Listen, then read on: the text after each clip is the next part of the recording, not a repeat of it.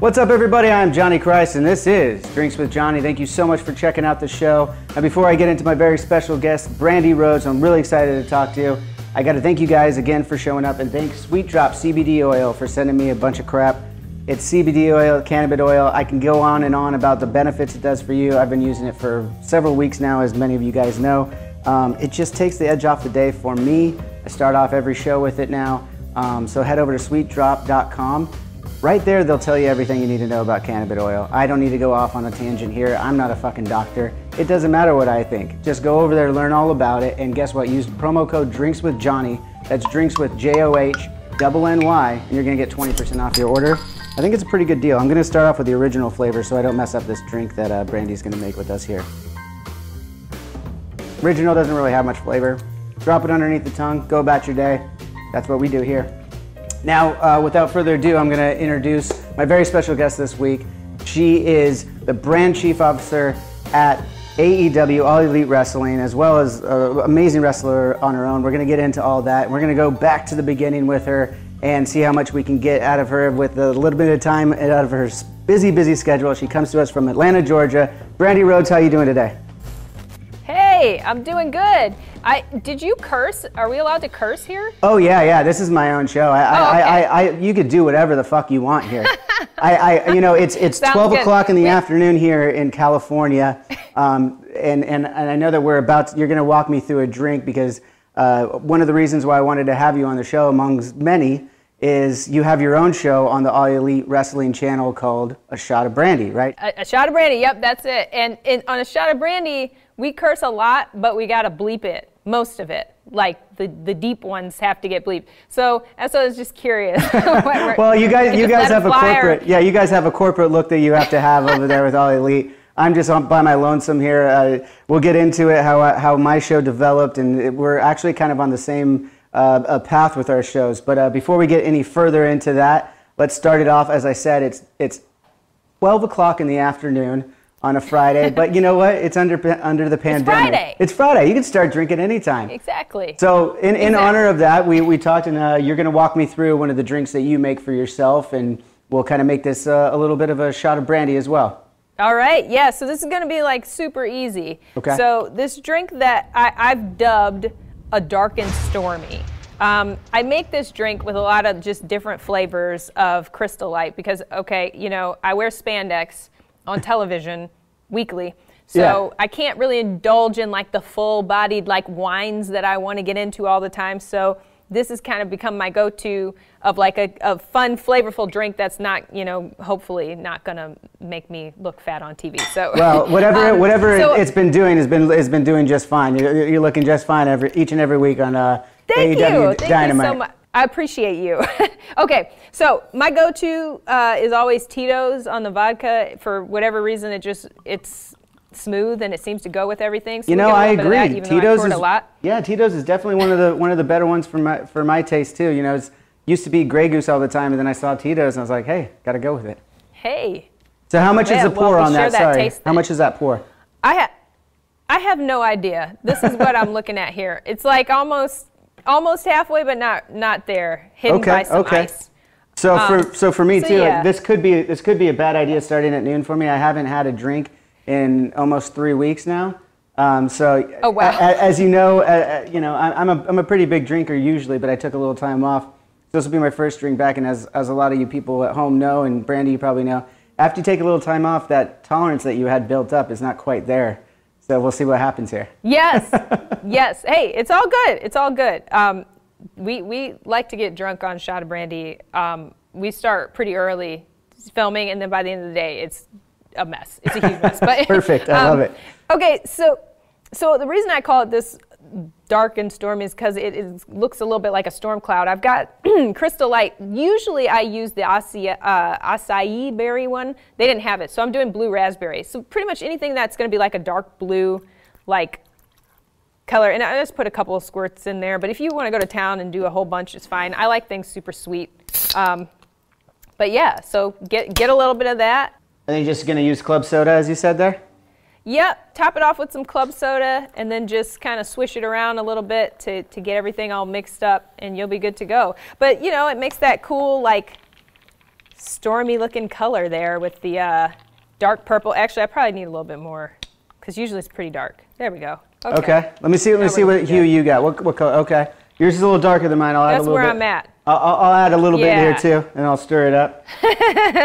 so I'm. I. So you call it because of the color and the hue, a, a dark and stormy, but. I was a little confused because it's it's not a traditional dark and stormy. A dark and stormy is made with rum and, and, and everything like that. Uh, I didn't even know a dark and stormy was an actual drink. I thought I made that up. no, it's an actual Whoops. drink. I'll make it so. That, so we'll choose Okay. this one, but next time when we when we can hang in person, I'll make you a dark and stormy for you and show you what it's all about. That sounds delicious. I feel like I got to rename this though. Maybe we just call this the CBO Dark and Stormy. CBO. That's it's my yeah CBO Chief Brand Officer Dark and Stormy. Perfect. I like so it. So people know they're not going to get something else. Okay. All right. Well, cheers. cheers. Thanks Let's for being on the show. here. Cheers. Let's see what we got here. That's, really it. good. That's really good. That's simple too. Clean, smooth. Yeah, easy. So, th- so this So, is your go-to would drink drink while it- you're, as you said, like while you're, uh, you know, you have to perform, you have to be in, in tip-top shape. This is something that's uh, obviously it's lower in calories, right? And that's why you can you can have a few of these and not worry You- about it. Right. You basically just have the vodka cal- calories in that. You don't have any in the club soda or the the Crystal Light. So pretty even keel drink right there. But yeah, this is my thing. I like it. And then you you know you can do it with other Crystal Lights like. I just named this one because it looks cool, but like you could do it with you know pink lemonade or you know whatever tropical punch. All the they have glorious flavors there. Yeah. Whatever you like. So you use You it. So Crystal Light's kind of your go-to when you're when you're when you're making drinks while you're. Uh, it's performing. I have it in my purse, honestly, and I take it to restaurants and I'll ask for a Tito's and club soda, and then the waiter will come back and it'll be blue, and they're like, "What did you do to the drink?" I'm like, "Oh, it's this crystal." they're like, wait a minute, Miss Rhodes, I, I don't think you're allowed to do that. Like you do. oh my gosh, I can only imagine what people think I'm doing. oh, that's amazing. It's just Crystal Light. Well, again, thank you for uh, for walking me through this drink. Now let's get into a little bit of our chat. Um, right, let's just go back to the beginning, um, and actually, very recent at the same time. You just celebrated uh, your birthday on June 23rd. Is that correct? I did, yeah. Well, happy birthday! I know it's a month late, but uh, happy birthday anyway. Um, what what Thank was you. the celebration like this year? I mean, 2020 is a hell of a year to be celebrating something at all. Um, but you know, it, it's it's very different atmosphere in the world today. Um, what did you do to celebrate your birthday? Oh man, well, it, it definitely was a little bit more of a low key year, but um, you know, I was lucky to be um, at Dynamite that week, so we kind of had a little bit of a Dynamite birthday celebration with you know cake, and you know we were all able to hang out after the show and have drinks together, and so that was pretty fun. Um, did a little dinner with my husband, low key again. A lot of restaurants. Um, opening up here in Atlanta, you can eat on the patios and stuff like that. So that was pretty nice. But yeah, not not a huge birthday year, but uh, it's okay. I mean, who wants to get reminded that they're getting older anyway? You know? I'm past the point of being excited about it. I, I, I've been past that point for a while. Uh, I think, but yeah, yeah, but I mean, you just turned 21 though, right? You you can now legally drink. exactly. Yeah, I mean that must have been I know, amazing though. you You're out in Hotlanta, you know, and uh, you got you got you just got your ID that says you're 21. You're ready to party. Uh, what was the drink of choice through the night? Oh gosh, you know what? I don't know. I don't know what I. I don't know what I drank. Um, probably. I mean, I like prosecco quite a bit. Like I'm a prosecco girl, so I probably had some pros- prosecco, some bubbles to celebrate a little bit. Um, but I'll indulge like special occasions. So once a week, I get like my cheat meal. So like if I go out, I'll try something. You know, I usually ask like, "What's the drink here? What's the good drink?" And you know, whatever they tell me. Most of the time, they don't steer me too wrong, but it's usually some fruity concoction of some sort that's got like probably 500 calories just in the glass. so I'll just do that and Yeah. be happy with my decision. Yeah, well then, but then it's kind of like a meal. Then you don't actually have to eat, right? You just and then you just keep the buzz going a little stronger, right?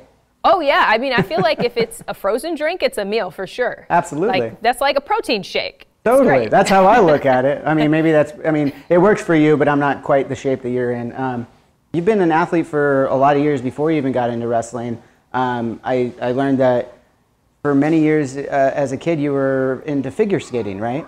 Yeah, yeah. I skated. Uh, I figure skated. I started at the age of four, and then I did it for 17 years. Yeah, it was my entire childhood and uh, teen years and early adulthood for sure. Yeah, it was crazy. Um, loved it. Absolutely loved it. Miss it. But wrestling's kind of taken its place in my heart for now. Oh yeah, I'm sure. I mean, on that figure skating though, did you have like aspirations? Were you in a lot of tournaments? Did you have a lot of accolades as a figure skater? Were you were you aiming for an Olympic uh, appearance at some point?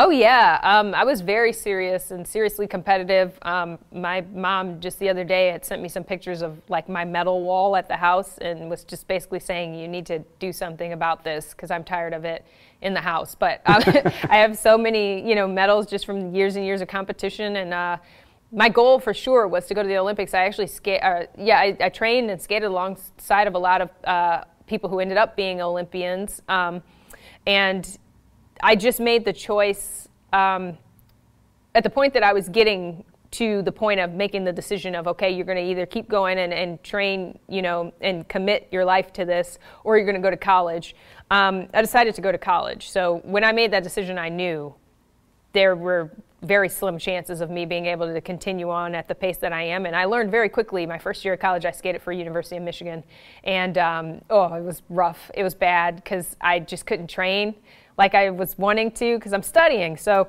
um, yeah, that's where I decided. Yeah. It's over. Yeah, that student that student but. athlete aspect of it was it was a little little bit more than you were expecting, I guess. Then. Oh man, hit me hit me pretty hard, yeah. But you were you were a, a very good student though uh, as a student athlete you mentioned you went to the University of Michigan. Uh, that was on a was, if I'm not mistaken, that was on a full ride, correct? Yeah, full academic scholarship uh, to Michigan, which is a rarity. Unless, at least back then it was. I don't know. They may just be handing them out like candy now. I, I doubt it. But I, doubt, um, I doubt that but, very uh, much. yeah, yeah. But uh, it, it, was a quite an accomplishment. Uh, something I didn't expect at all. Um, I mean, I was a very good student, but I had a lot of competition. Um, my school, I went to Plymouth Salem uh, in Michigan, which is a very large school. It's actually compared a lot to a college campus because you have, you know, Plymouth Salem, Plymouth Canton, Plymouth, they're all the same, and they're on like a compound where you walk back and forth between all these buildings for classes. Um, so I had a lot of competition. I had a huge, you know, graduating class and everything, and I think I was the only one to get the, the full, full ride to Michigan, which wow. I remember too. One of my friends that was super smart and an AP everything, and she was like, how the hell did you get get the full ride? And I was like, I did the simple stuff, but I did it well. Okay. and they were looking at it. You work smarter. you work smarter, I, not harder. That's what you got to look at and say. Exactly. Work smarter, not harder. Exactly. right. That brings me to another question, though. Just to go back a little further, though, um, you got a full ride, um, and you were you were born and raised in Michigan. What part of Michigan? Uh, Canton is where my family lives. I say Detroit because it's all the Detroit metro area, like okay. 20 minutes outside of it. Yeah. So, what was your uh, upbringing like? I mean, where was your neighborhood affluent, middle class? I mean, you luckily got on this scholarship. Was it was that a necessity at the time with your family, or what was your upbringing like? Oh, it was a necessity. My parents told me if you are planning on going to college, you better get a scholarship. okay. so um, we we grew up. Uh, my parents. Uh, bought their first home in a neighborhood, which we know a lot of them, right? That people tell you, oh, it's only going to go up. Mm-hmm. Um, it only went down since they bought that house. So, I mean, we were po, like po po. Like, uh, I mean, somebody broke into a window to steal my piggy bank once. Like, this, this is the neighborhood that, you know, I grew up in. You couldn't, you know, play outside because there were like wild dogs just running the streets. So we didn't, we didn't have it.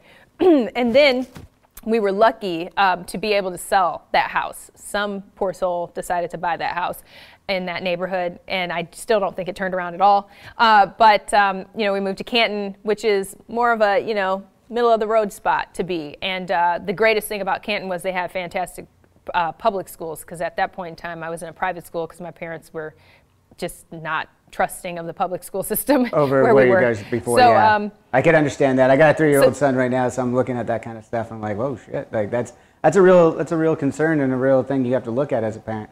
Yeah, yeah, absolutely. So, um, so yeah, we, we improved the situation, but I mean, it still was, you know, I, I, I didn't come from uh, a lot, very, very, very humble beginnings, um, but it was very instilled in me that you need to work hard uh, so that you can do better. And that was everything that I did, you know, everything, I mean, in figure skating, I gave it 150% because, you know, it cost my parents every penny they had for that ice time. So don't get out there and screw around. And um, with school, it was the same thing. It was, you know, they fought very hard to be able to, you know, afford my education. So make sure you're not screwing around. Like, put in the effort, read the books, do the reports, pay attention to the teacher, be respectful, like, do it all. So, well, yeah. it seems like those were uh, great words of wisdom. I mean, you followed them, and, and, look at you now. I mean, I have a couple quick, quick questions though before you, before we got into your second stint in college. Ice skating in Michigan, there are frozen lakes. Were you doing a lot of ice skating there to, you know, so you didn't have to pay for the ice time during the summer and make up for that, you know? That would have been a good idea, except for I was very afraid of falling through ice. So um, I always kept, yeah, I always kept it in, in the arenas. Um, but yeah, I, that, hey, no judgment here. I'm, I'm terrified of I'm, I'm terrified of many things. I wouldn't be on the ice either. but then you make the so you go from a you know growing up in a place that has extreme winters in Michigan and Detroit and and then you go to the University of Miami next to earn your master's in broadcasting. Um, take me through that. I mean, when you finish in the University of Michigan, were you like, uh, what were you looking at doing with with that degree, and then why eventually did you decide on a master's in broadcasting in Miami? So. Uh after I got out of school, I realized pretty quickly that um, a BA in communications meant nothing. So I had some, you know, odd jobs here and there where, you know, I was trying to do this and that and whatever, and there just wasn't a lot of opportunity um, in Michigan. Uh, I thought at that point in time that I did want to be in broadcasting, that I wanted to be a news reporter or anchor, and um, I actually got a from from an internship I'd had. I got a job as a reporter in Michigan. Um, it was in Flint, Michigan, which is, I think, one of the highest crime rate cities in, in the world. Mm-hmm. And um, I uh, had was making no money. Um, it, it, the pay was so bad that I had to take a job as a nanny on my days off. So I was working seven days a week, um, four days on at the news station, three days on as a nanny, just to afford an apartment and and pay some of my student loans back. And I was just like this is not what I thought this was going to be. So I always joked and you know talked to my friends about oh I'm just going to move to Florida. I'm getting the hell out of Michigan. I'm moving to Florida. It's too cold for me. You know I'm I'm just going to move to Florida. I just got so tired of of the situation and and my life being how it was eh, that I just finally said, you know, what do I have to lose? I've got a little bit of savings. I'm going to just move to Florida and see what happens everybody thought I was nuts. Um, most of my friends said, You'll be back. Uh, I've never been back. So I moved there and I just never looked back. That's yeah. awesome. That's great. No, I mean, uh, I can understand that. I've been to Michigan and Miami. No, no disrespect to Michigan. I've had some fun there as well. But I mean, Miami's a different beast. I mean, let's, let's be honest. yeah, yeah. I mean, the, the weather alone is a different scenario. Oh, absolutely. But um, just being able to, to go to Miami, that was kind of where opportunity began for me. Um, because I started modeling and, and you know diving a little bit into the entertainment world and, and seeing that there was actually other stuff you could do. Yeah, I was going to ask about that. So you did you did uh, some modeling while you were in Miami. How long was how long did you do modeling before? I know that that kind of as you were just alluding to kind of led you into the the diva search that came kind of shortly after if I'm not mistaken. Yeah, um, so I modeled probably for about five years, which is about the, the entire time I lived in Miami. Um, I had some really great experiences. I had some weird experiences, but overall, um, it's kind of what let me know that hey, I do want to be doing something in entertainment, whether it's you know news broadcasting or you know something you know TV or whatever. Um, but I was kind of that that's where I got the the bug where I was like, yeah, this is this is more for me. This kind of you know go getter lifestyle rather than you know punching a clock. I'm just just not the person. So, um, so yeah, uh, and the opportunity did actually come from modeling. Um, my agent at the time in Miami uh, called me one day and said, "Hey, don't say no." So I was like, "Oh God, like what? what is this going to be?" That's always a great call. yeah. Just don't say no first. Just hear me out. yeah. so she told me about this opportunity, and um, the only thing that I, I, so I had two memories of wrestling. One was, you know, when I was a much younger child, my brother was a very big wrestling fan, and we would watch together, and I loved it. Um, I loved crazy characters, like I'm still a huge fan of Sensational Sherri, and uh, Koko B. And um, there's a lot of Saturday morning superstars from WWF that you were watching. Right. Same, same era where. Right. We were. You know, you're you're you're Exactly. much younger. You just turned 21, but somehow we saw the same TV around the same time. Somehow I saw that stuff, you know. Yeah. I don't know what, what that means, but but um, yeah. So uh, that was the great memory that I had, and then the next memory that I had was being in a women's studies class at the University of Michigan, where clips were being dissected from wrestling, and one of them was a famous Attitude Era clip of Trish Stratus in the ring on her knees barking like a dog, oh, and that's the one that I thought of when she said, "Do you want? Are you interested in this?" And I was like. I honestly, I got to tell you, like, I can't ever imagine myself doing that. That's just not me, you know? And she was like, well, it's completely different now. That was a different era. Now it's a PG sort of thing. And she said, just watch it. Just, just watch it and, and then let me know what you think. So I remember I turned on SmackDown that night and I actually saw my now husband on the show. Um, but I, I remember thinking, like, wow, this is way different than I remember any of what I remember. And then um, they invited me to come to Survivor Series, which was in Miami at the time. I went to American Airlines and just I felt like this is it. This is this energy, this crowd, what they're able to do in the ring. Like this is what I want to do.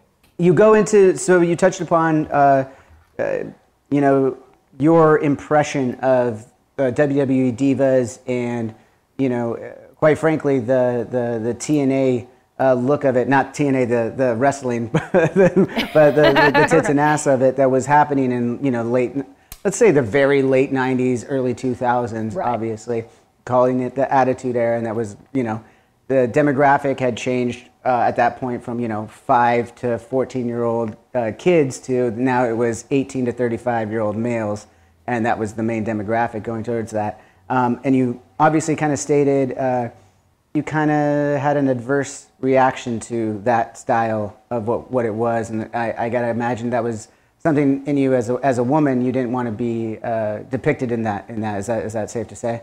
Yeah, no, absolutely. I mean, um, you know, those are different times, um, and and a lot of what I did, you know, in modeling, I I guess you know, as far as risque costuming and things like that, I don't that that's something that's never bothered me. I mean, I don't know if you pay any attention to what I wear right now in the ring, but people do complain about it's a little bit much, but that's okay. I'm okay. Oh no, I pay okay attention. with No, it. no, I've seen it. Um, I, I watch I watch AEW very uh, like every week, and I Yeah. So I, I'm I'm a big fan. Um, I we we'll get into some of our mutual friends that you were working with that actually got me into Nice. AEW.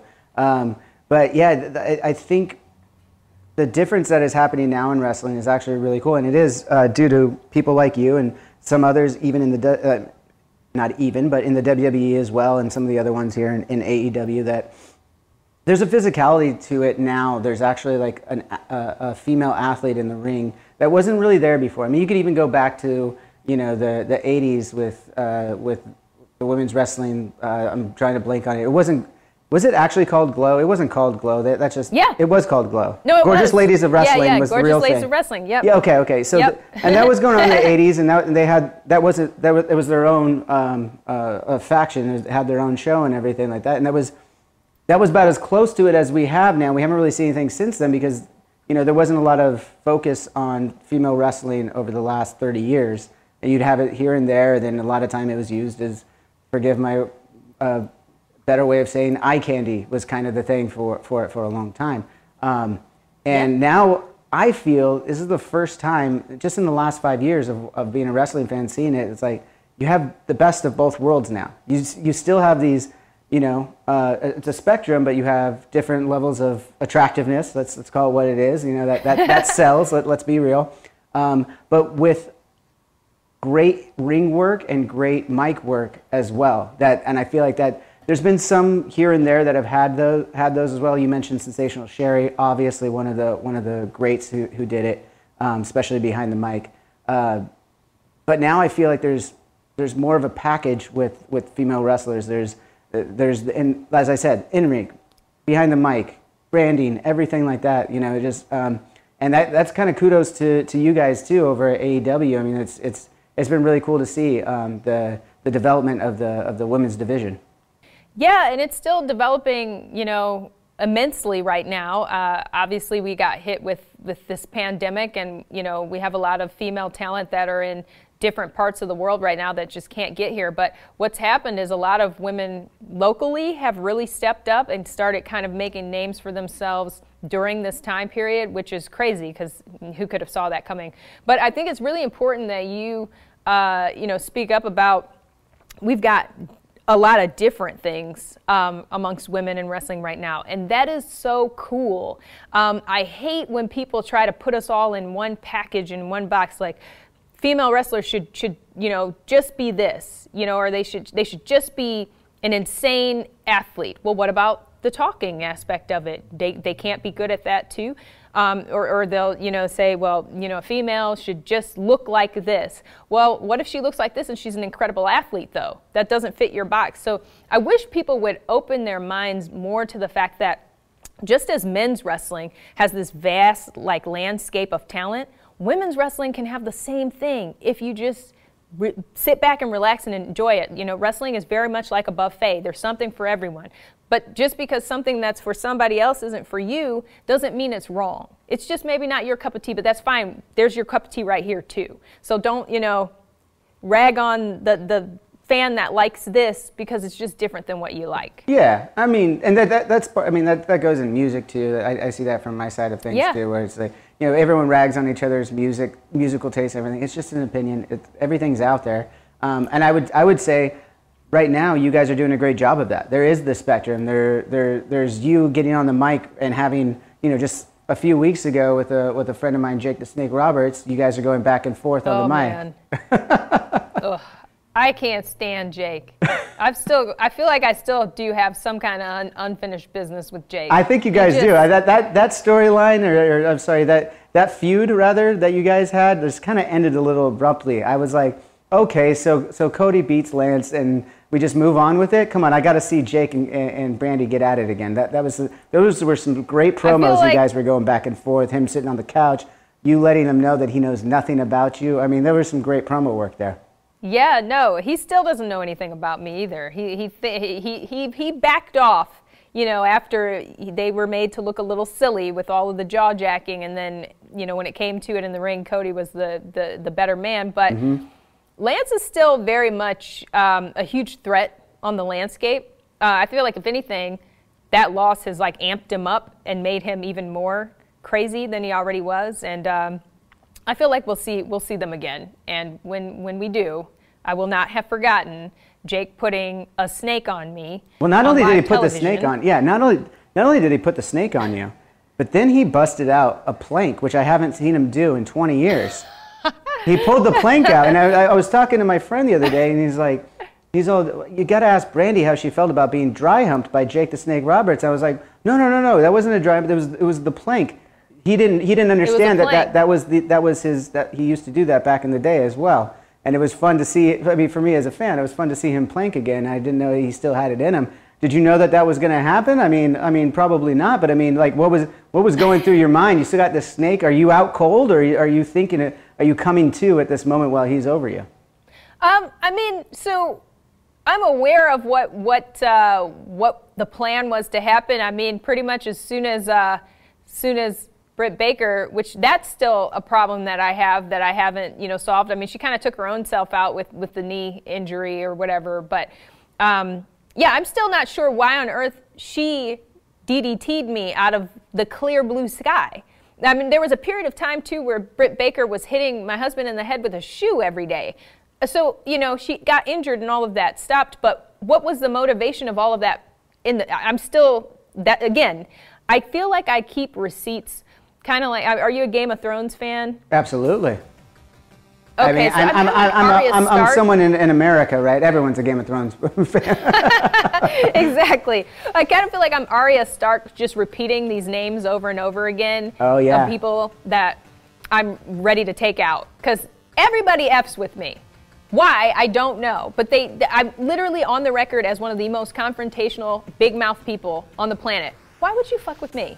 But I don't think it's a smart move. continuously do it all the time. I want it. It's I don't think it's, a good not. move. I had you on the show just to the befriend you. I, I'm having you on the show to befriend you. I don't want to fuck with you. I know there's going to be a ti- there's going to be a time I'm going to be in an, an AEW arena when the when the pandemic passes and and I'm going to be you know passing by. I'm going to be like, whoa, I just got to make sure we're still cool, you know.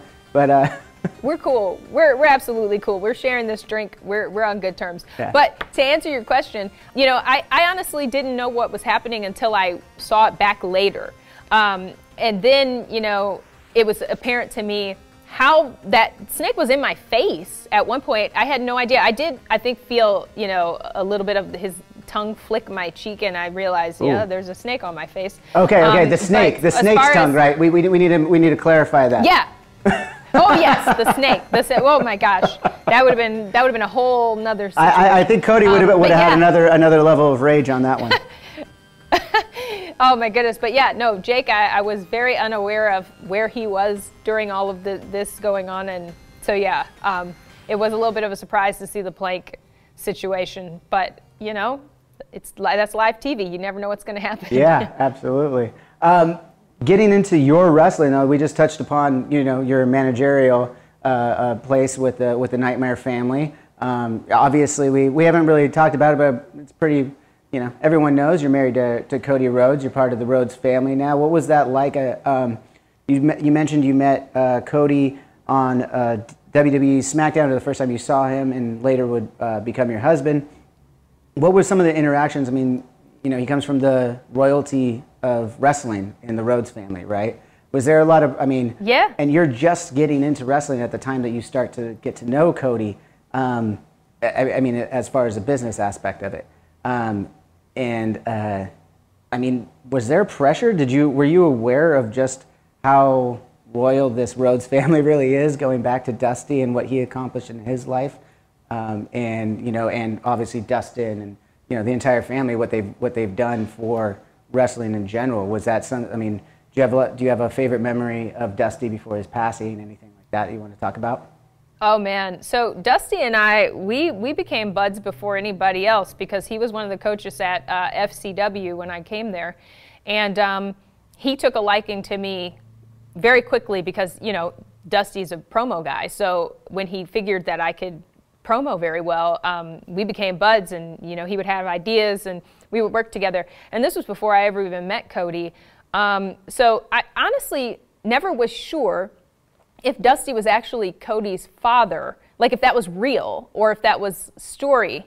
Um, just because to me, you know, they didn't really look that much alike, and so it's kind of like maybe it's just a, a story thing, or you know, Well, yeah, I mean, and we we um, growing up in, in wrestling, you've seen that happen before, where the uh, a new Right. a new a new guy will take on the name, and they'll say, "Oh, it's his son." I mean, like for a minute, it was. Uh, it was Paul White was was Andre the Giant's son for like a hot second in WCW. It's like I don't think that's that's Andre's son, but okay. yeah. but yeah, um, so you know, when when I met him and um, we started talking, you know, more. Um, obviously, Dusty was his his actual dad, but um, I, I have a great memory of Dusty, and that was um, the last time um, I went to, or actually, no, it, may may have been. Now I'm confused. I think it was the last time that I went to um, a Hall of Fame, but there may have been one more after this. I'm not sure. But it, it was the last time that Dusty went to Hall of Fame, and um, we walked the red carpet together because Cody was Stardust at the time, and so it didn't make sense for you know me to, to go with Stardust. So I went with uh, with Dusty, and um, as we're walking the red carpet, they stopped us and they, they said, hey, you know, they wanted Dusty to do an interview with, with Maria Menounos. And um, it was going to be live. And Dusty said, no, no, no, no, I don't want to do that. And I said, no. I said, I want you to do it. And he started to kind of pitch a little bit of a fit to me. And I said, listen, if you don't do it, your son is going to hold me accountable. So please do it. Just, just do it with me. Few minutes, it's going to be fine. And that interview was one of his last interviews. So I'm so happy that we got him to do it because, of course, he was great and people loved it. And um, it was kind of like my moment with him on the red carpet. And uh, we, we had a fun little interview together, and uh, it lives forever now. So that's really great, you know, considering that I didn't have as much time with Dusty as I wish I, I had. Um, so that's kind of like a memory that I can always have and cherish and look back on. That's awesome that you had that moment. I mean, that's that's super cool. I mean, I guess my question from that is did you did he know at the time that like Cody, you know, you were going to be part of the family at one point? Like, did he did he ever have a chance to give the blessing? You know, I mean, like these, these are the questions I have, I guess, uh, of that time that time frame. Yeah. So one of the funny things is he told Cody about me before I, uh, we ever met. He he uh, you know would frequently tell him about new people coming in and you know people that he thought had potential and he told Cody, you know, he said there's this new girl, and he said she's got really, really unique, beautiful eyes. Like they're just, you know, captivating or whatever. And he was like, I think when you meet her, you're gonna like her. And Cody was like, What? Ew, whatever. and then we met, and then he's like, That's the girl my dad was talking about. Okay. Yeah. So he kind of, I think he, he had some intuition. And he didn't. He, like, I'm sure he didn't this, need to know your name girl. either to know it was you. He just saw. He just was like, oh, the eyes, the eyes one my dad was talking about. the, the girl with the eyes, yeah. Wait, which is amazing. Though. Um, those are your those are your real eyes. That's the color of your eyes, correct? Yeah. That, those green eyes. Okay, so that that's that's that's uh, or emerald. I guess is probably the the better way to, to describe them. Um, yeah, because I mean, as a as a layman, as a fan, seeing you for the first time, my first experience to you was in AEW and you know, seeing the eyes, I was like, oh, those are some really cool contacts. So I'm, I'm glad to know. People, those are all oh you. my gosh, it's been. I've gone through my entire life of people asking me if my eyes are contacts, and it's just so like I feel like I've covered it. Like I've said so many times publicly, like no, these are my eyes, and then still somebody will cut like almost weekly on Twitter, someone will ask me, Are those your real eyes? And I'm like, Just look at my back tweets. I already answered this question like 10 minutes ago. so, well, that's why yes, I went a roundabout way. See, if you notice, I went a roundabout way. I didn't actually ask you the question. yeah, no. If you if you go roundabout enough, I'll I'll just dive in there with that. That's my that's my one thing. It's my favorite feature. So I feel I feel okay like hyping my favorite feature. yeah, you, you should you should. It's yeah. Um, another thing that, uh, back to a little bit of the wrestling about your in ring work. Um, right now, you've teamed up with Allie the Bunny, uh, Allie or the Bunny, depending on which day or time you're talking to her. Um, and uh, it's and you guys are calling yourselves the the Nightmare Sisters. But there's a little bit of a riff, well, right? Yeah, and and I'll tell you, I never called us the Nightmare Sisters. Allie started calling us the Nightmare Sisters because there's something very strange going on there with her obsession with, with the Nightmare family. But um, i am going with it because the fans seem to like it. They liked it. I mean, the first time I said Nightmare Sisters to, to Tony Khan, he nearly did a backflip. So there's something good about the Nightmare Sisters, apparently. I just was unaware of that name being uh, just silly to me, but whatever. um, but yeah, Allie, you know, Allie's very, to me, I mean, I'm a, I'm a woman. I've been a woman for 21 years. We'll 21, 21 long um, years. 21 long years. yes. And, and I know when women are trying to get something. So I'm, Allie's trying to get something. The, the question is what? But at the same time, why can't we win the first AEW Tag Team Tournament Cup? Like, while she's trying to do whatever she's doing. That that's a benefit for me too. That's a benefit for the Nightmare family. Um, that that that's a great accolade to, to have under your belt. So if she's going to keep playing these games, as long as we work together well and keep winning, why am I going to complain? And you guys are on an undefeated streak right now. Is it's up to four now? Now, if I'm if I'm not mistaken. Yeah, yeah, and just every intention on just trying to increase that each week, um, and of course going into that tournament and and coming out on top for sure. I mean, it's ours to win. It's ours to win. Who who else is a team in in AEW?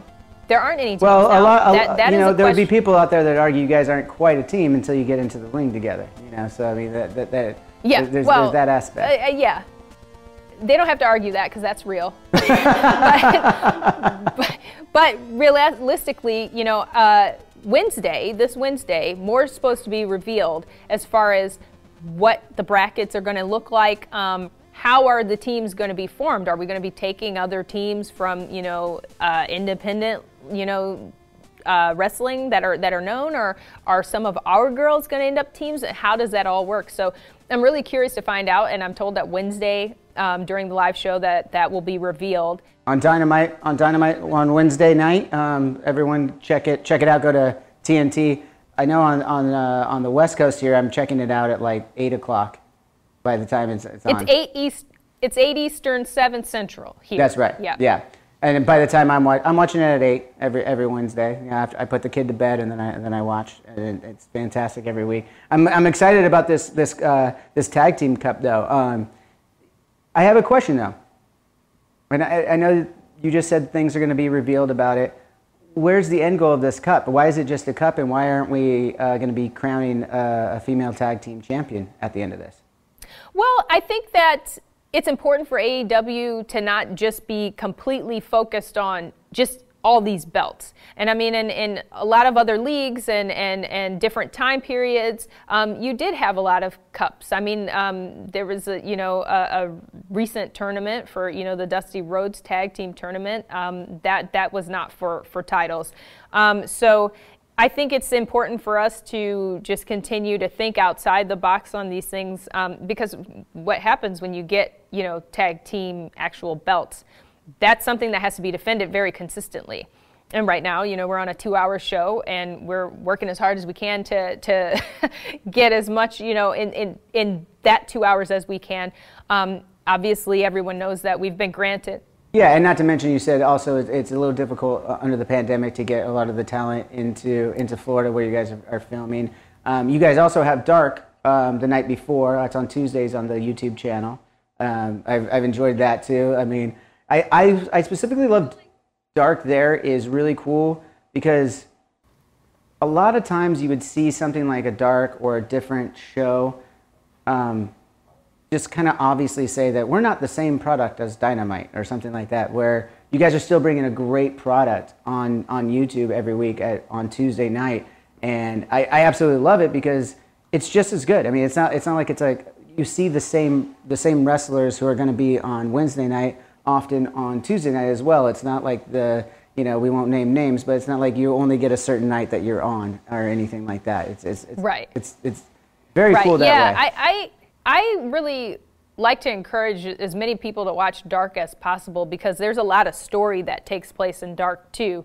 So, um, you know, sometimes people will, say, you know, with something that's happening on Dynamite, well, did I miss something? Yeah, you missed Dark. You need to watch Dark.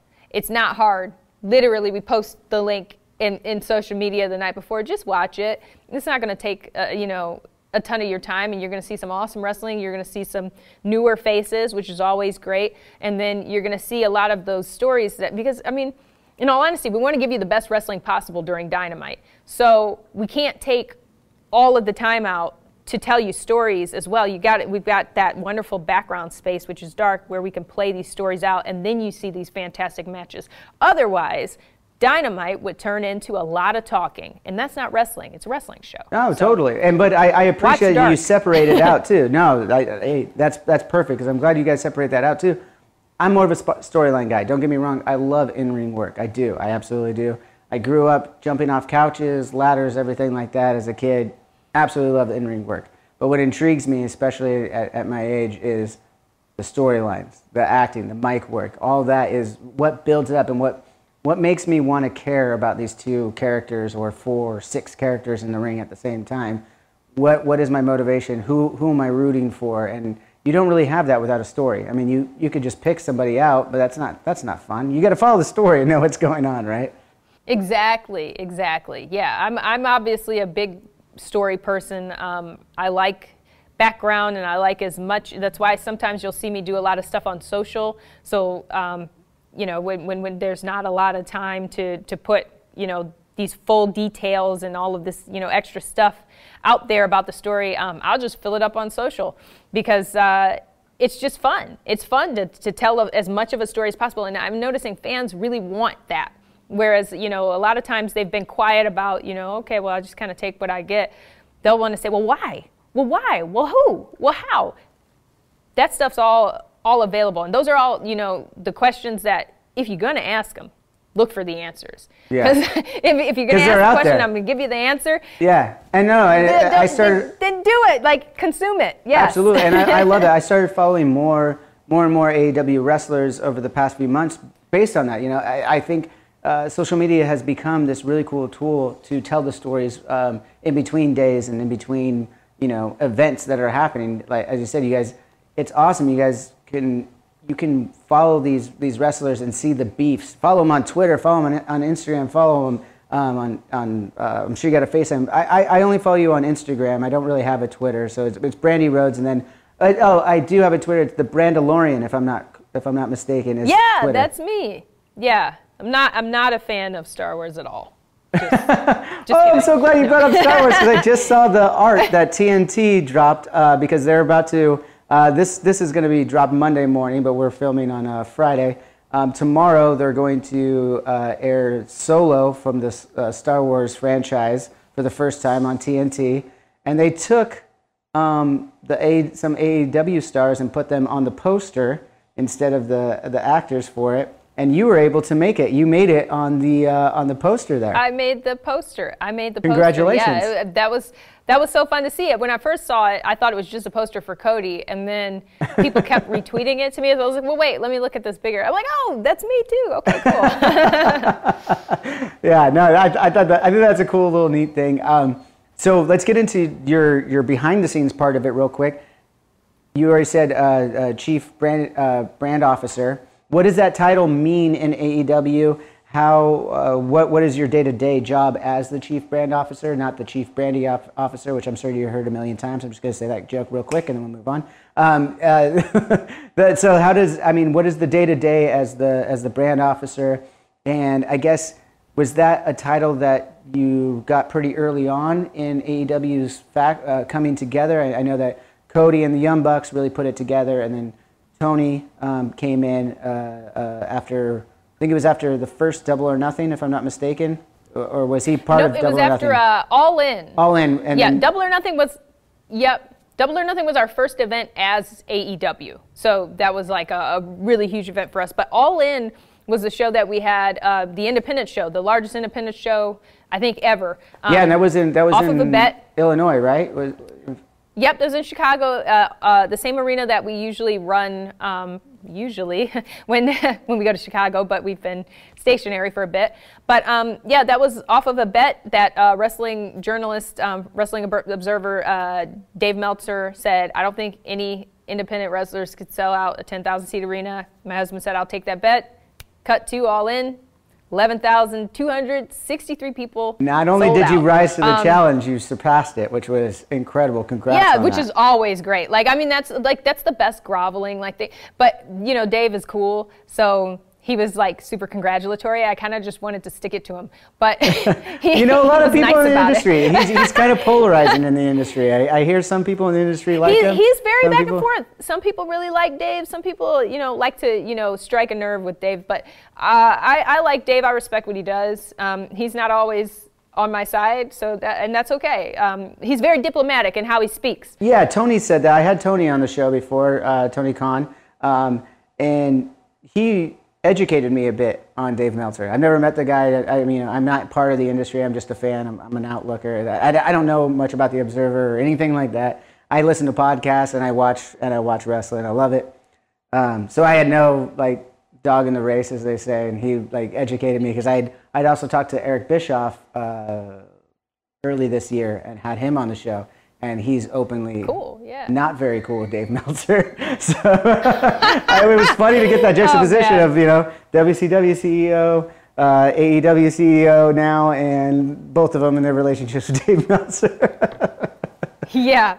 No, I mean, people are very, you know, back and forth with Dave Mel- Meltzer, and uh, you know, I just, I respect people who speak calmly and coolly about things. You don't have to like everything, but if you want to, you know, voice your opinion and, and you're calm and you know, pretty, as as opinion, like I mean, Dave will always say, you know, this is just my opinion. I respect that. That's your opinion. When you try to put things in fact, though, that you don't know what you're talking about, that's when I kind of am like, okay, well, you can take that over there. Yeah. and, uh, I'll, I'll stay right here. Yeah. Um, but yeah, no. Um, so yeah, like you were saying, um, I kind of got off on a way different tangent about. Oh yeah, that's what we do here. We're, we're, having drinks and having a conversation. It starts to get off on tangents at some point. But yeah, we're, I was asking about the, the your position as chief brand officer and and uh, what, what, Yeah, what that entails. So buckle up. Um, so the chief brand officer position really is three actual jobs rolled into one, um, which I didn't realize until I started doing it. Which I'll tell you, it's it's fun to do my job. So I'm very busy, but it's good busy. Um, so everything related to PR, media, that all comes through me. I'm basically the approving force of, of all of these random things, and and um, you know, we, we interact with, with media every day. I mean, I approved obviously to do this show with you. Um, Yeah. and, um, you know, we work on all of our initiatives, um, any press releases that have to go out, any, you know, media posts that we need to make public or, or anything um, that that's concerning our image. That's all in, in one boat. And then the middle kind of boat is, is marketing. And I put it in the middle because it's shared um, between two departments. So there's me, and then there's uh, the chief marketing officer, which is Dana Massey. So we overlap a little bit in the marketing. We kind of work together on some things, but then you know she's kind of got the merchandise area, and then I'm on the brand area, and then we move into partnerships and sponsorships and um, you know special like events and things like that. Um, so like all of the work that we do with culture city um, all of the charity based stuff that we do um, the start of AEW Heals that's all me too. So it's like a big Yeah. basket of work that uh, is crazy. But um, i have awesome support in all of the areas. So that's how i'm able to do all of this and then still be able to perform on the live show. Well, you know, it also helps that you just the- turned 21 and you have all this. Well, yeah, and I'm just young and vibrant, and, And that's- you know, that's amazing, because I mean, for me, me. I don't have back pain. No, no, no, no.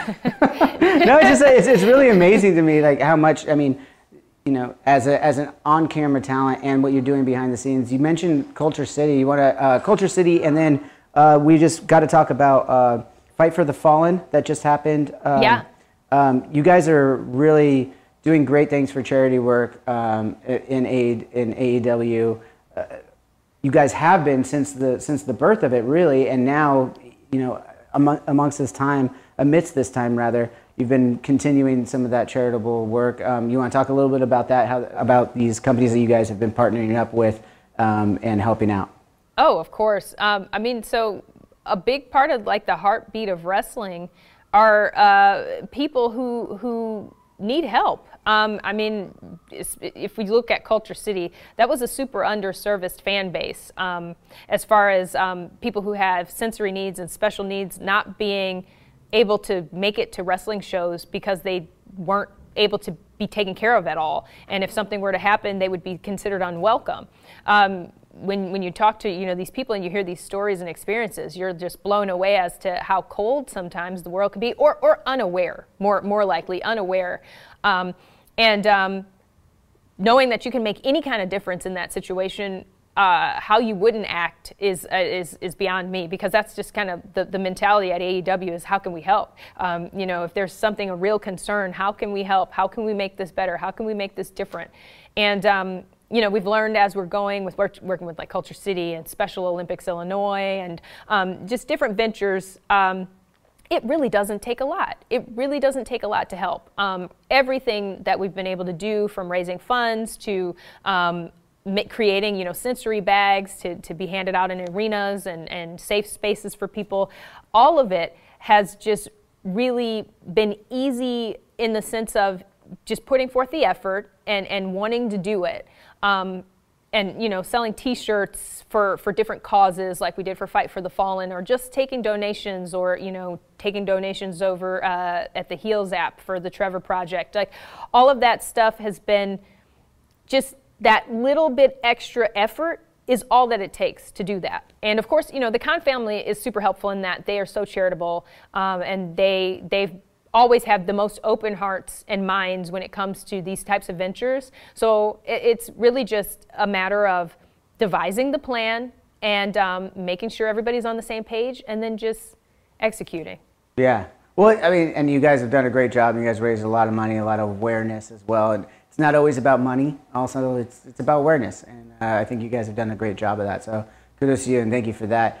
I'd be remiss if we didn't if we didn't talk more about A Shot of Brandi. Um, this is this is a credible show. Um, I found it kind of after um, one of our mutual friends, or two of our mutual friends, and Darby and Priscilla, uh, Darby Allin and Priscilla Kelly came on my show, and then I saw that they individually had come on your show, and I was like, "What is this?" And I had found. So you did it a lot smarter than me. So you started a YouTube channel. you started a YouTube channel by yourself, did everything yourself, and, and did like a cooking and, and drinking show by yourself, and then let it kind of naturally grow into this thing. See, I I was silly. I did it the opposite. I was on a different YouTube channel that had a bigger audience, and then I realized it was becoming its own thing, and then I was like, had to shift. I should have done it the opposite way. Okay. So let, walk me through your process of like what what is a shot of Brandi for you? Um, I mean, you're already super busy and you got all these other things going on.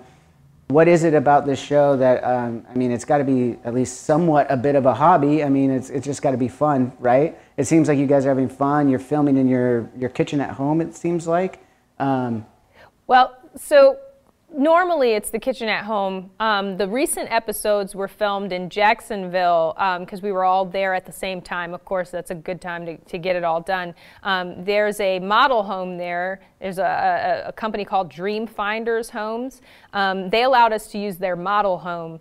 For some of the episodes, it's so confusing though because that, that home kitchen looks a lot like mine. Yeah, okay, that's so why I was like- been saying like, wait a minute, what that looks like a kitchen, but it's not really. And yeah, so there you have it. But um, yeah, Shot of Brandi is, is so much fun, and uh, the goal of Shot of Brandi, I've I've kind of reached the goal of it. Well, there's a lot of goals, but one of the goals of Shot of Brandi was for it to become so much fun that talent that's been on the show starts telling other talent. Now I've got a backlog list of talent that want to do Shot Brandi, which was a goal. Like that's great. They all have seen it and they like it so much, and like you know they've had good stories from their friends being on the show, and now they're like, I want to do the show. So that was you know one of the the major goals, but it's really to get people loose and and let their personalities shine a little bit. That's why, like you know, we can curse, we bleep it, but we can curse if, if, if that's who you are. Yeah. And um, you know, we we can just have a good time that doing something not so serious. Like I mean, I don't fancy myself a cook at all. I can cook, but I I don't think I'm anywhere near a pro level. And I do things that are so just ridiculous on that show because most of the time I've been drinking for hours while I'm doing this. So yeah, I almost cut my hand off on the regular. I, I literally have drank in half of this fifth of Tito's, and then Speaking you of, I think I'm going to add a little bit more. I think I'm going to add a little bit more. Oh, you, got, you yeah, got me okay, started, so I'm going to add a little bit more. 12 o'clock, right? 5 Yeah, it's 12 somewhere. o'clock. It's 5 o'clock somewhere, right? No, but uh, no, I, I really like that. I, I noticed that um, I didn't know. So I'm, I'm kind of talking about the evolution of the show, too. Like I said, it kind of started by yourself, you know, one camera, one phone, whatever it was, and you were on YouTube. And then obviously to this point, you know, you have a model home, uh, obviously for reasons of the pandemic, but you have, you have like a stage now for it. You've done it in your kitchen. There's a lot of production value that's been added to this show for good reasons. I mean, it's, it's a great show. I, I enjoy it. I mean, kind of it's kind of the bizarro world of this show in a way. You're doing it much better than me, but you know, we'll get to that another Oh, time. Oh, stop. No, this is great. I love it. Your setup, your setup's way better than mine, too. You got the Johnny, like, sign lit up and the I'll, I'll get, I'll get you. like- I'm sure you don't need it. I'm sure you could get someone to make it yourself, but I could get you the company. you could put a shot of Brandi on. Oh, yeah. No, that'd be awesome. you I just like have to ask Cody if it's okay Um, to put in the kitchen, like like right every time you walk into your kitchen in the He- middle of the night to grab milk. You know, it's it's right there. He has no no decoration skills. He would be like, "Oh, that's fine. We just put it put it in the middle of the kitchen." oh man, but yeah, no. Um, Shot of Brandi it's it's fun, and um, that that's the goal for it to continue to be fun um, for people to keep you know hopefully having being able to expand on the guests beyond um, the AEW roster world. Um, I have had a couple people reach out wanting to be on the show. So um, you know, yeah, it's it's it's Well, doing yeah. its thing. I- I think you kind of- just keep going. Yeah, and it seems like uh, I mean, we, we talked about it earlier. You went to the University of Miami and and and got your master's in broadcasting. I mean, did, did you ever see? I mean, did you ever see yourself like hosting your own show in that in that aspect when you were when you were doing that degree? I mean, obviously, as I said, you have you actually have a background in this. I'm just a I'm just a musician who is like, ah, I know enough about interviews. I've been on one side of them for 20 years. I could do it on the other side. but uh, you know, No, that's the best experience. Sometimes that's the best experience is just being out there and doing it. But yeah no i always thought um, i wanted to do something some sort of a, like a lifetime sh- or lifestyle. Sorry not lifetime but I, will do lifetime if you know they're watching. But no like i i, I um, you know just want to do something you know lifestyle related. There are a lot of you know shows on you know local stations that have you know home life and whatever. Um, but i did not think that i would get into a world of you know cooking drunk and um, falling around the kitchen. But here we are, and that's actually more fun probably than me pretending to know about you know home decor and things. No, no, I, I, think it's great because I also noticed that you also you you cook with alcohol as well. Not only are you drinking with alcohol, but you seem to you seem to cook with alcohol. And I saw somewhere that you had an interesting wedding cake at your guys's at your your and Cody's wedding. Uh, oh, what yeah. were the layers? There were there was alcohol in the layers of this cake. What was that? Absolutely, yeah. So we had three different tiers on the cake, and um, one tier was for you know the faint of heart, which was just vanilla bean. That that's fine. Then the next tier was mojito. So we had mojito cake, um, infused with alcohol, everything. It was delicious. That that was my favorite. And then another tier was red wine velvet. So there was red wine actually. That in, sounds in, amazing. In the cake batter. Yeah, there was a fantastic cake. Do you remember the cake though? How good was how good was the wedding, and do you remember the cake? Because at my wedding, I very uh, I, I barely I remember throwing the cake in my wife's face and doing that whole fun thing, but I don't remember actually eating the cake. I do remember everything about the wedding. I did not get too tanked. I'd kind of paced myself drinking throughout the day. So I started, you know, in the morning with the girlfriends with you know champagne and you know everyone's getting ready in the in your room roll. together you know yeah. yeah. All, yeah, all my so single ladies is playing in the background, I'm sure, because that's what everyone was listening to. probably, probably. um, but yeah, no, we, we, we actually a lot of times will go back to that place. It's, it's called the Cake Hag, H A G, in Atlanta. We go there to get cake all the time because they're just they're the best man they they are not afraid to take risks and they they work out that, that's awesome that's awesome i got a, last quick thing you, you mentioned as an on-screen talent you, you've shown your ability as an actress as well um, have you ever thought about you know putting your, your, your name in the hat for you know being on american horror story or in a horror movie of any kind like is that something that you would have a goal for one of my life goals is to be killed in a horror movie uh, I don't know why be, it hasn't happened be, yet. But do you I, need a line though? My question is, do you need a line to be killed, or can you just be killed as like a bystander? Um, I definitely need. Yeah, I need some lines. Like I need, I, I need some, I need some character, you know, work a little bit. But I, yeah, I want, I just want to be in a horror film and and just be taken out by whoever. Um, well, don't just just just throw out whoever. You're a horror fan. I got to know who's your ultimate. Michael uh, Michael Myers. If, if I could get killed by Michael Myers, that would just be the that would be everything to me. I have one of his like signed knives. Um, in a case downstairs in my office, um, like that my husband got, got, me for Christmas. But like, um, yeah, I'm a huge, huge fan of horror. Um, big fan of uh, horror, uh, horror stories, Halloween horror, horror stories. What am I talking about? Halloween. we got well. Yeah, yeah, we're going. Halloween horror nights. Um, and unfortunately, learned today that um, for 2020 they're they're not going to be able to do it. Uh, which this will be the first time in I think eight years that I haven't gone. Um, so super sad, but understand, you know, their their concern and everything. But yeah, like I mean, October is my month. Every movie that we have to watch has to be horror related or don't put it on. Um, we do the haunted houses. We usually do Halloween horror nights, um, and uh, yeah, it's it's it's a sad kind of year because of you know I don't really know what's going to go on with other haunted houses either. They may all decide not to do it this year. Here in um, here in California, they're closing all of them. They're closing uh, Knott's Scary Farm, the the Queen Mary uh, one, which is one of my favorites. Uh, the Universal I one. think Disney's not even doing Mickey's Not So Scary Party. Yeah, no, so I know. I was glad I sad year for it, but year. yeah, but we can catch up on all the movies. So that's the upside because I actually haven't been watching as, as avidly uh, because a lot of things you know haven't been in theater.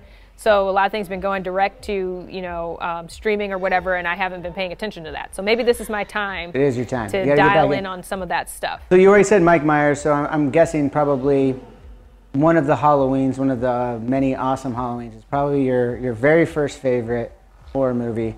Um, what, what's another one that's in your top five? I, I'm not even going to ask you to put them in order, but just pick one out of your top five aside from the Halloween. what Um, would you say? The remake of Texas Chainsaw Massacre. Oh, that was a uh, with Biel. well done. That that's a fantastic. Yeah, love that. Love that. And of course, I'm obsessed with American Horror Story. Um, I would. I'm curious to know what what's your favorite season. I, I feel like my favorite season might be Asylum.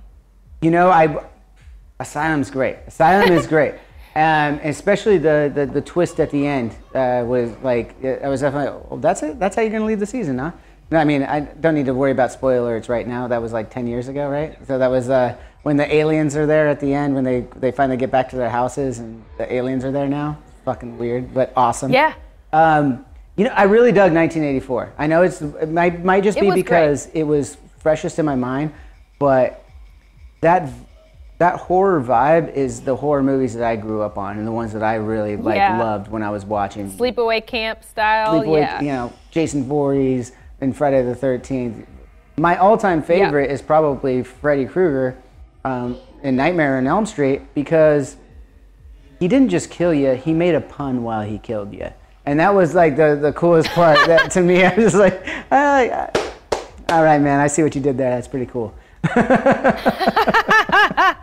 Yeah, no. Oh my gosh, there's so much so much great horror. Actually, uh Chris Jericho is a big horror fan too, and he shared a film with me and now I've heard, the name is escaping me, but um he shared something with me and I watched it and it was just terrifying. Like it was it it literally hurt me. Like to to watch this film and I told him the next week I was like, "Chris, that that was what the hell was that?" And he was like, "Oh, I thought you were a horror fan. I'm sorry. And I was like, no, I am like the horror fan, but what was that? yeah, Like, yeah, that was that was borderline never- smut. Like, come on, buddy. it was it was wild. It was crazy. Now, Chris Um, is wild though. Like, that was one of our mutual friends I was going to talk about. We'll, we'll just graze over real quick. But Chris, what was your first impressions meeting Chris, and, and how long did you meet him while you guys were both um, in the WWE at all, or was okay? So you you knew him before uh, before AEW signed him. Um, I've known him for shit going on ten years now. Uh, we we met, and Yeah. you know he's great dude, as you know. Like, what was what was your kind of first impressions of him though? And you know, yeah, I got to ask the questions of a couple of our mutual friends, I guess. Yeah, no. Um, I always really enjoyed Chris. Um, he actually in WWE was one of the few people who saw the importance of the ring announcer, and I was a ring announcer then. So, um, Oh, before you, was, I, you I got to mention that though, real quick, especially in these times. I don't mean to make light of it or anything like that, but there was one thing that I wanted to mention. You were, you just mentioned you were a ring announcer. You were like one of the first female uh, black uh, uh, ring announcers at WrestleMania. Which WrestleMania was that? That was. I can't remember now because it, was- it, it was. It was in I'm trying to remember 2015. Which one was my first one? It was in 2015. Yep. Okay. So that Yep, WrestleMania, so you that- became the first African American female. That was San Jose. Was that San Jose? I don't know. yeah. Anyways, not important. To everyone that was in San Jose and was watching it, it was very important to uh, apologize, but. not important, guys. Forget that show. No. No, that's no, that's c- congratulations on that. That's that's that's a that's Thank a, you. and especially in today's uh, environment and atmosphere that's going on around the world right now too. I mean, it's important to uh, note those kind of things. I mean, um, I don't know if you're are you a big uh, sports fan in general, or are there some other sports? Are you a basketball fan? I mean, basketball's about to start here. I on like Thursday. baseball. Baseball. I'm a, I'm a pretty big baseball fan. Um, I'm still a fan of the Detroit Tigers and uh, follow them and hope for them to make playoffs every year. And it doesn't happen that It's gonna be an interesting. Well, it's gonna be interesting. Anything can happen in this baseball season. Sixty games. I mean, that's that's cutting Yeah. out hundred and two games for every team. A lot of different Yeah. kind of balls about to be played. I'm I'm excited to see the difference. I mean, it's under unfortunate circumstances, obviously, but like it's gonna be exciting. But I I, I ask about that because like LeBron James um, was talking about the Black Lives Movement last night after they played uh, their first scrimmage, and I even just said it. He he. Uh, expressed his feeling about calling it a movement and he, how he's like it's not a movement it's a way of life and um, i was listening to that and i was like okay that, that makes a lot of sense like for for an african american you know i can i can only do I, i've talked about this on my show for you know since my eyes have been open. You know, I've, I've, I've been an ignorant white man most of my life because I just didn't see I didn't see the life that way, and I've been in a great place in my life that I haven't had to see it, and then to see it what has transpired since the the murder of George Floyd and and many others. It's eye opening to say the least, and you ha- and I can do whatever I can to you know speak about it on my platform and everything like that. And I just wanted to get your quick you know, we don't need to go into too much detail if you don't feel comfortable with it or whatever. But what what what is your current thought on uh, on the state of the world today and um, your own? I mean, we came off the, the, the accolade of you being the first African American uh, female at WrestleMania commentating. What does that mean to you and what's going on in the world today? I guess is my question. Um, I'm I'm happy that things have been brought to light that you know, just became commonplace for a lot of us. And um, you know, there's there's a lot of things that are very different um, when you're black and, and, just in everyday life. Um, and I mean, I, it's it's a double-edged sword because being black and female, you have like kind of a double compound of things that that you worry about. Like, I don't just worry about getting pulled over because uh, I'm a female and I don't want like a you know to, to, be made to feel uncomfortable by a male cop. I also don't want to get shot. So it's two things on top of which each other. Two things um, obviously should never be the case anyway, which is you know the main thing that's just so upsetting right. about it. So yeah, so I mean it, it's nice to bring the light to this because a lot of people don't understand, you know, a lot of just the ways that black people have to think about things. And, and even especially now, like, I mean, I, I was explaining to some friends the other day, I stopped running outside. And um, I think people thought I stopped running outside because it's too hot or whatever. No, I'm afraid um, to run outside because I don't know what could happen. You know, if I ran in the wrong area, what could happen? Um, we've seen the worst of what could happen, and that was in Georgia, and I live in Georgia. So, you know, um, but I'm glad that, you know, it's a conversation that's open now, that a lot of people are open to talking about and listening to. I'm really proud of the way that AEW has handled a lot of things um, and, and been open for conversations and discussions. Um, and I, I, actually heard, um, I think it was Charles Barkley talking the other night about uh, this topic as well and, and he said something super that super resonated with me. And it's that you know when you're black and you're in the, the, the entertainment or, or celebrities like realm you're kind of in a different world than other black people.